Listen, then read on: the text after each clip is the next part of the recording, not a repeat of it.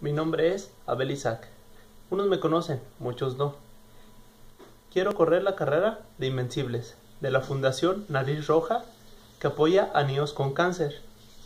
Necesito de tu ayuda. Mi reto es ponerle precio a mis pasos y a mi cabellera.